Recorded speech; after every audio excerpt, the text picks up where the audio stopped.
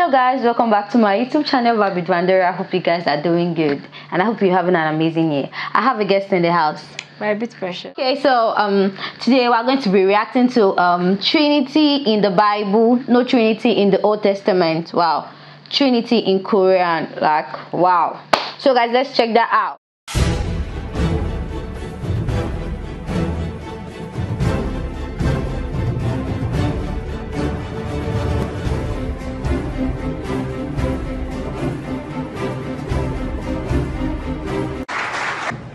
Before I give any understanding on the Trinity, I must thank the Almighty. I say, Alhamdulillah, praise be to Allah for saving my neck. The pastor, he had 10 minutes and the Bible in his hand. He couldn't give what I was asking. I said, one phrase, one sentence in the Bible where Jesus says, I am God, or where he says, worship me. Thank God he failed. And I knew that, therefore I took a chance. Otherwise, I would never have taken such a chance.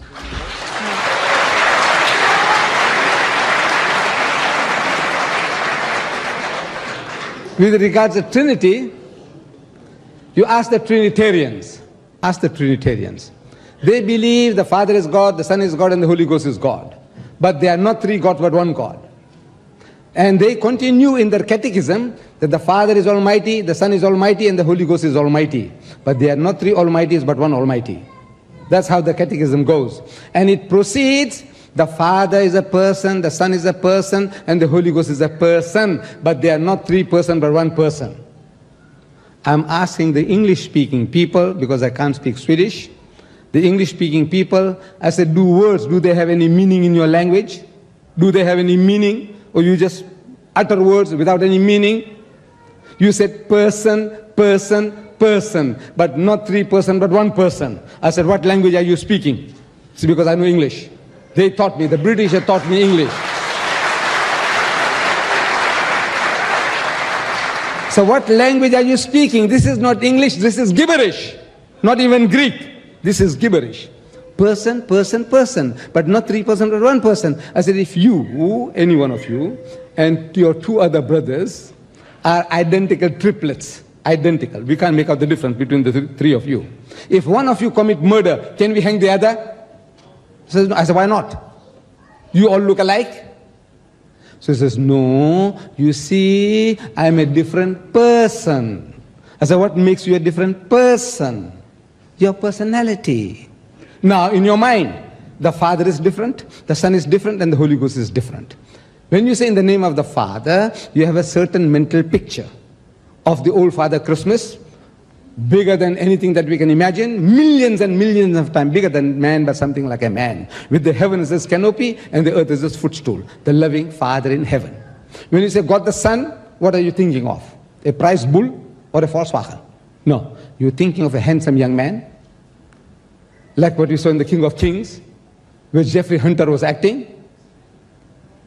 Blonde hair, blue eyes, a Nordic type, a Scandinavian type, not a Jewish type. He doesn't look like a Jew.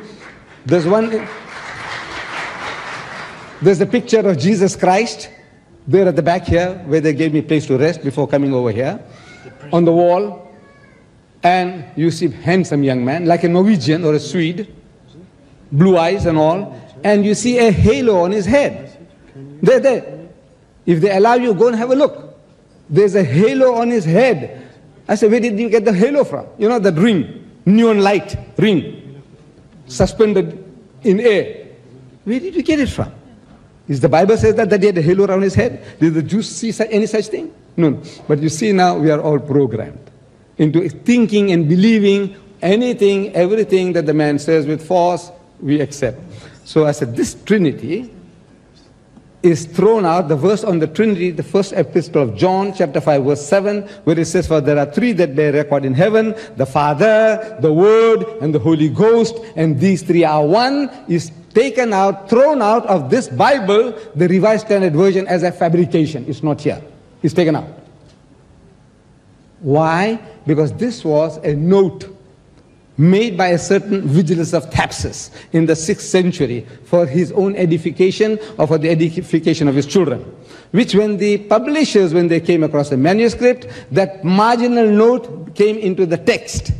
It crept in into the text. Now your scholars now discover that this is a fabrication. This is a note. This is not the works of John. So they took it out as a fabrication, as an interpolation. Jesus Christ, he never taught the Trinity. When he was questioned, Gospel of St. Mark, a learned man of the Jew comes and asks him, he says, Master, in the Hebrew language, Rabbi, what commandment is the first of all? And Jesus answered and said unto him, The first is, Shama Israelu Adonai Eloheinu Adonai Echad. Say, Hear, O Israel, the Lord our God, the Lord is one. He repeated word for word what was given by Moses some 1300 years before, without the change of a dot. If Trinity was what he came to teach, that was the right moment to educate the guy. For there are three that bear record in heaven the Father, the Word, and the Holy Ghost, and these three are one. He never said any such, such thing. He merely reminded him about what Moses had given 1300 years before. So there is no such thing as the Trinity as taught in the Bible by Jesus Christ.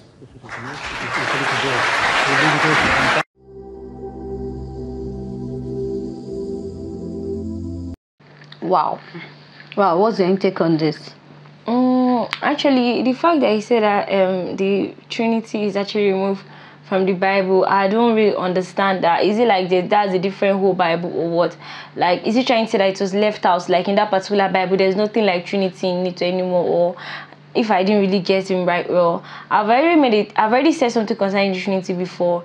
If you don't believe in something, then just let us believe in what we believe in, and not being like there's no Trinity like generalizing it when you know that okay just like when it comes to our tribes some people eat fish why some people don't eat fish? Let's just put it that way. And then you're trying to say that people that don't eat fish will die.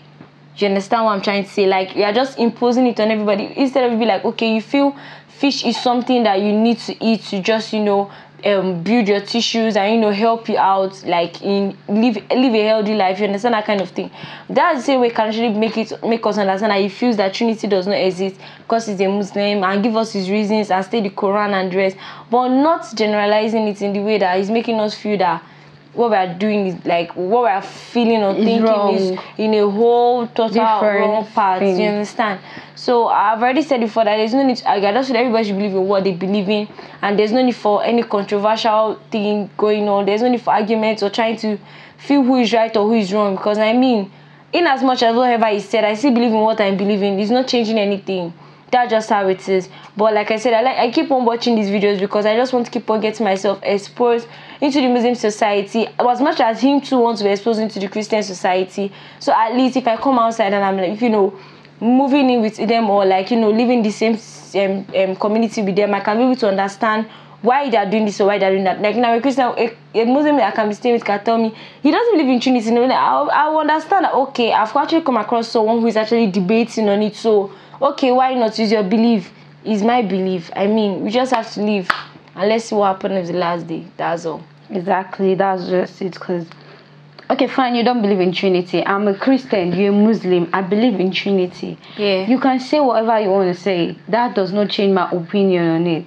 Yeah. There's God the Father, the Son, and the Holy Spirit. There's nothing you can tell me about that, okay? Yeah. And there are Christians out there, like with these petty, petty little things, you can't actually, like, I don't know how to put it. Like, you not going through the Bible whole well, not just picking one verse and understanding just the one verse. You need to read everything and understand. You understand? Like, you might be in trouble now and be like, Holy Ghost, take control. You might be like, God the Father, God the Son, and God the Holy Spirit, please Yeah. take control.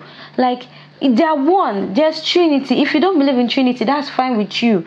And it's just like me now. I don't know how to put it in a Muslim way or in an Islamic way and telling you that this does not exist and stuff like that. Like, don't bow down while praying. That does not exist. Like, why are you bowing down? You're bowing down like who's in front of you? Like, is God in front of you? Why are you bowing down? That that does not exist. Like, that's what you're trying to say right now because we, we believe in Trinity and Trinity exists.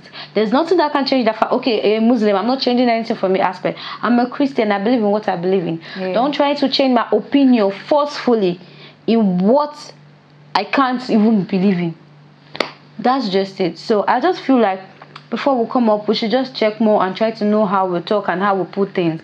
We should put it in a way that other people are actually going to understand as well. Like not making it look forceful and making an issue out of it like just saying things and like he was like he brought the pastor. Like the pastor can't defend in trinity like he can't defend that there's trinity in the bible. Actually i believe that that's the situation the pastor was in which i might say is disappointing but i actually, I actually understand sorry my bad. But at the same time please we should not just try to force people to believe in what they don't want to believe in. That's just how i'm just going to put it. So guys we've come to the end of today's reaction. Let me know what you feel in the comment section. Don't forget to like comment and subscribe. We'll see you in the next one. We'll check more on this video and give you updates all right we'll see you in the next one guys. Bye